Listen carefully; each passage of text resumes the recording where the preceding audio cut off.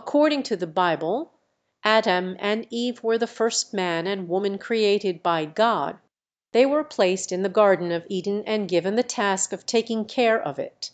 However, they disobeyed God's command to not eat the fruit from the tree of knowledge of good and evil, and were banished from the garden.